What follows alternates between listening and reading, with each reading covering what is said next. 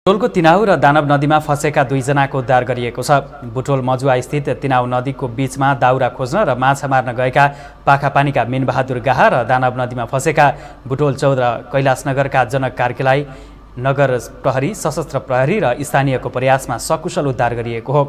तिनाउ नदीमा सतह बढेकोले दाउरा माछा मार्ने उद्देश्य वा खोला हेर्ने उद्देश्यले नजिक नजान सबैमा अनुरोध गरिएको बुटोल उपमहानगरपालिका प्रमुख खेलराज पाण्डेले बताउनुभयो। उहाँले नदी किनारमा विपदको टोली र नगर प्रहरी खटाएर सावधानी अप्नाइएको बताउनुभयो।